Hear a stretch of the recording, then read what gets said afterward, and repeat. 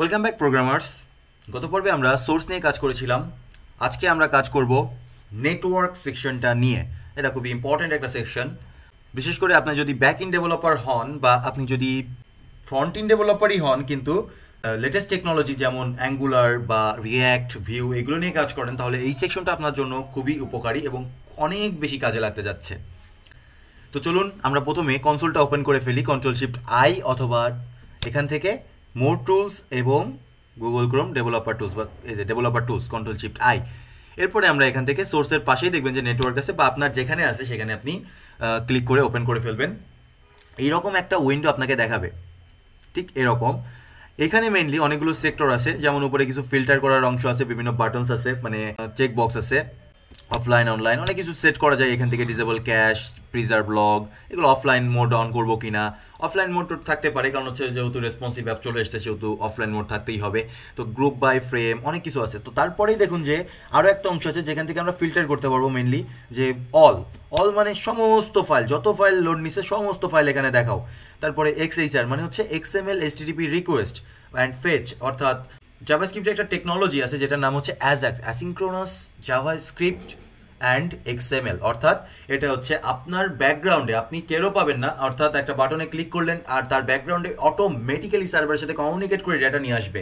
এটার নাম হচ্ছে অ্যাজাক্স সেটা সেটা দুইভাবে করা যায়। একটা হচ্ছে এক্সএমএল এইচটিবি রিকোয়েস্টের মাধ্যমে আর একটা এপিআই আছে, নতুন এপিআই সেটা হচ্ছে ফেস এপিআই এই দুইটার মাধ্যমে করা যায়। তো সেই এপিআই থেকে যেই ফাইলগুলো পাবেন, সেগুলো যদি দেখতে চান তাহলে এক্স এইচ আর ক্লিক করতে হবে। যেমন আমরা যদি এটা ক্লিক করি, তাহলে আমাদের একটা মাত্র ফাইল আছে, যেটার টাইপ হচ্ছে এক্স এইচ আর যদি আবার আমরা অলে চলে যাই আচ্ছা জাভাইস কি ফাইল কী কী আছে সেটা দেখতে চাইলে এখানে আমাদেরকে এটা ক্লিক করতে হবে। সিএসএস ফাইল কী কী আছে সেটা দেখতে হলে আমাদেরকে এইটা ক্লিক করতে হবে। ইমেজ ফাইল কী কী আছে সেটা দেখতে হলে এইটা ক্লিক করতে হবে। মিডিয়া ফাইল কী কী আছে সেটা দেখতে গেলে এটা ক্লিক করতে হবে কেন মিডিয়া ফাইল নাই, কোনো ফন্ট আছে কিনা সেটা চেক করতে পারলে পারি আমরা। এখানে কোনো ফন্ট নাই, কোনো ডক আছে কিনা, অর্থাৎ ডকুমেন্ট এই যে একটা ফাইল ডকুমেন্ট আছে ডকুমেন্ট কি? অ্যাকচুয়ালি এইচ ফাইল যেগুলো, সেগুলো হচ্ছে ডকুমেন্ট তারপরে ওয়েব সকেট আছে কিনা? ওয়েব সকেট একটা আছে, কারণ হচ্ছে আমার ওয়েব লাইভ সার্ভার ওপেন করা আছে, যার ফলে একটা ওয়েব সকেট তৈরি হবে।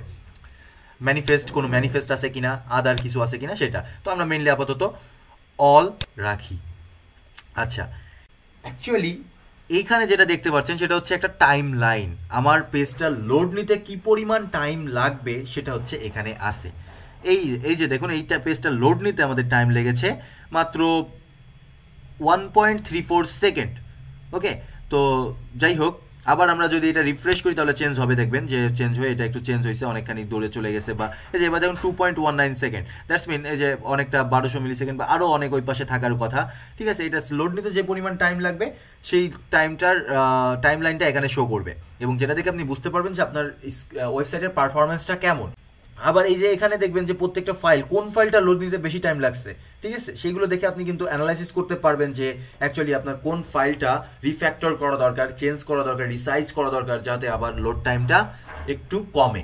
ওকে এই হচ্ছে টাইম লাইন এরপরে আছে হচ্ছে বিভিন্ন ফাইল যেই ফাইলগুলো আমরা পাচ্ছি, যেমন অ্যাবাউট ডট এইচ টেমেল এটার উপর যদি আমরা ক্লিক করি, তাহলে আরও একটা প্যানেল ওপেন হয়ে গেল হ্যাঁ? সেই প্যানেলটা আমরা এখানে এইটা আগে আউট করি।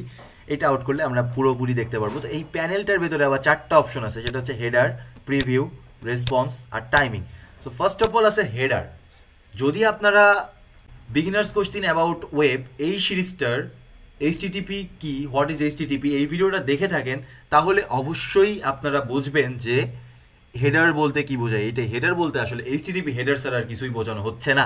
আর যদি না দেখে থাকেন ওই ভিডিওটা, তাহলে আমি সাজেস্ট করতেছি ওটা দেখে আসুন বা এইচটিডিপি বুঝে আসুন। এইচটিডিপি আপনার খুব বেশি কাজে লাগবে যদি আপনি ওয়েব নিয়ে কাজ করতে চান। সব সময় আপনার কাজে লাগবে।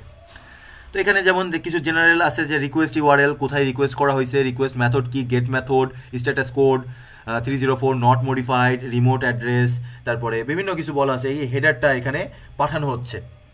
স্ট্যাটাস কোড তারপরে বিভিন্ন রেসপন্স হেডার পাঠানো হচ্ছে রিকোয়েস্ট হেডার রেসপন্স হেডার সব কিছু দিয়ে এখানে কিছু ইনফরমেশন দিয়ে সার্ভারের কাছে পাঠানো হচ্ছে।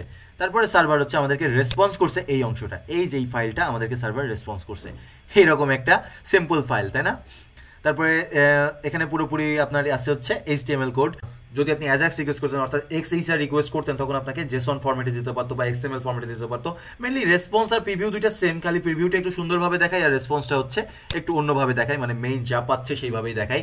যদিও এখানে সব কিছুই ফর্মেটেড দেখাচ্ছে। আর তারপর এটা হচ্ছে টাইমিং আপনার এই পেজটা এক্স্যাক্ট এই পেজটা লোড নিতে, এই অ্যাবাউট ডট এইচটিএমএল পেজটা লোড নিতে কত সময় লেগেছে সেটা আপনি এখান থেকে অ্যানালাইসিস করতে পারবেন। এখানে বিভিন্ন বার চার্টের মাধ্যমে আপনাকে দেখা বারের মাধ্যমে আপনাকে দেখাবে, এই যে বিভিন্নভাবে দেখানোর চেষ্টা করতেছে যে কত সময় আপনার লেগেছে এবং সেটা দেখে আপনি খুব সহজেই বুঝে যাবেন যে আপনার কোন পেজের লোড টাইম কেমন আর কোন পেজটা অপটিমাইজ করতে হবে। এটা মেনলি কাজ করবে যখন আপনি আপনার ওয়েবসাইটটা তৈরি করে ফেলবেন এবং তখন হচ্ছে অপটিমাইজ করার ক্ষেত্রে এগুলো হেল্প করতে পারে। আর তাছাড়াও কাজ করবে যখন আপনি ওই যে বললাম, যদি আপনি ফ্রন্ট ইন ডেভেলপার হন এবং অ্যাঙ্গুলার রিয়্যাক্ট ভিউ এগুলো নিয়ে কাজ করেন, তখন আপনার এগুলো কিন্তু খুব বেশি কাজে লাগবে যে আমি অ্যাকচুয়ালি এখান থেকে দেখতে পারব যে আমার এই রিকোয়েস্টটা কি ডেটা আমার জন্য নিয়ে আসছে, সেটা আমি এখান থেকে দেখতে পারব। ওকে তো এই হচ্ছে মেনলি নেটওয়ার্ক বাকিটা যদি আপনাদের ভিতরে কোনো কনফিউশন থেকে থাকে, তাহলে আপনারা নিজেরা রিসার্চ করে বের করার চেষ্টা করবেন। আর তারপরেও যদি না পারেন, তাহলে তো আমি আসি, আমাকে মেসেজ করে হোক কমেন্টে জানিয়ে হোক, যেভাবেই হোক, বা ইমেল করে হোক। একজন আমাকে অলরেডি ইমেল করেছেন, আমি তাকে থ্যাংক জানাচ্ছি। যেভাবেই হোক আমাকে কন্ট্যাক্ট করে প্রবলেমটা শেয়ার করবেন, আমি আপনাদের সলিউশন দেওয়ার চেষ্টা করব, যতটা আমি জানি। গত টিউটোরিয়ালে বলেছিলাম যে আমরা পারফরমেন্স নিয়ে অল্প কিছু কাজ এখানে করব, খুব ছোট্ট করে। তো পারফরমেন্স অ্যাপটা ওপেন করুন এবং পারফরমেন্স নিয়ে আমি বেশি কিচ্ছু বলব না জাস্ট অল্প একটু বলব যে কীভাবে পারফরমেন্সটা নিয়ে কাজ করতে হয়। যেমন এখানে দেখুন বলছে কন্ট্রোল ই প্রেস করতে, আর কন্ট্রোল শিফট ই প্রেস করতে। তো আপনি অ্যাকচুয়ালি প্রেস করবেন কন্ট্রোল শিফট ই তাহলে এটা কি করবে? পেজটা লোড নিবে এবং আপনার রেকর্ডিংটা হয়ে যাবে। তো আমরা তিন সেকেন্ডে রেকর্ডিং স্টপ করে দিই এবং একটা প্রোফাইল জেনারেট করবে। এবং প্রোফাইল জেনারেট করার পরে কোন অবস্থানে কেমন ছিল? দেখেন এখানে যখনই আমরা কার্চরটা নিচ্ছি, তখনই কোন অবস্থানে আমার স্ক্রিনশটটা কেমন ছিল সেটাও দেখাচ্ছে। যেমন এখানে কোনো কিছু ছিল না লাস্ট লোড নিচ্ছিল লোড নিচ্ছিল লোড নিচ্ছিল। এখান থেকে শুরু হলো যে আমার অ্যাকচুয়ালি যে আমার কন্টেন্ট কী কী আছে। অ্যাকচুয়ালি এই ছোট্ট পেজ দিয়ে অডিট করে অ্যাকচুয়ালি আপনাকে বোঝানো অডিট না অ্যাকচুয়ালি পারফরমেন্সটা বোঝানো সম্ভব না। আমরা পারফরমেন্সের জন্য চলে যাই গুগলের পেজটা এখানে অনেক কোড আছে, তো এটা একটু ভালো হবে। তো কন্ট্রোল শিফট ই প্রেস করি এবং এটা প্রোফাইলিং হোক। যতক্ষণ লোড নেবে, ততক্ষণ আমরা প্রোফাইলিং করব। তো তিন সেকেন্ডের ভিতরে আমাদের লোডিং শেষ, আমরা প্রোফাইলিং করে ফেলি। এবং এখানে দেখুন যে আমাদের কোন সময় এখানে লোড নেওয়া শুরু হয়েছে লোড নেওয়া শুরু হয়েছে লোড নেওয়া শুরু হয়েছে এইখানে সবুজ যেখানে, সেখান থেকে আমাদের মেনলি পেজটা রেন্ডার হওয়া শুরু হয়েছে এবার দেখুন গুগল আমরা দেখতে পাচ্ছি, আস্তে আস্তে। এখানে দেখুন যে নিচের অংশটা এই অনেক কিছু নাই, তারপরে এখানে আবার একটা অংশ আসলো, ঠিক আছে? এইভাবে করে বিভিন্ন অংশে বিভিন্ন কাজ হয়েছে তারপরে সিপিইউ টেস্টিং টেস্টিং অনেক কিছু আপনারা এখান থেকে করতে পারবেন। এখানে একটা চার্টও দেওয়া আছে, যেখান থেকে আপনারা খুব সহজে বুঝতে পারবেন যে কোনটাতে কত লোডিং নিছে। লোডিং টাইম নিছে one point one sixty five point two millisecond scripting time নিছে হচ্ছে two hundred two thousand one hundred thirteen point nine millisecond rendering time নিছে ওয়ান হান্ড্রেড ও নাইনটিন মিলি সেকেন্ড এইভাবে করে আপনারা পুরোপুরি দেখতে পারবেন যে পুরো পারফরমেন্সটা আসলে কেমন ওকে তো আমি আর ডিটেলসে যাচ্ছি না। আজকের ভিডিও আমি এখানেই শেষ করছি। পরবর্তী ভিডিওতে আমরা কথা বলব। অ্যাপ্লিকেশন অংশটা নিয়ে, এবং হইতে পারে এটাই পর শেষ ভিডিও কারণ অ্যাপ্লিকেশন, সিকিউরিটি এবং অডিট নিয়ে আমরা কথা বলে শেষ করে দিব। তো আশা করছি সাথেই থাকবেন। দেখা হবে পরবর্তী ভিডিওতে ধন্যবাদ সবাইকে।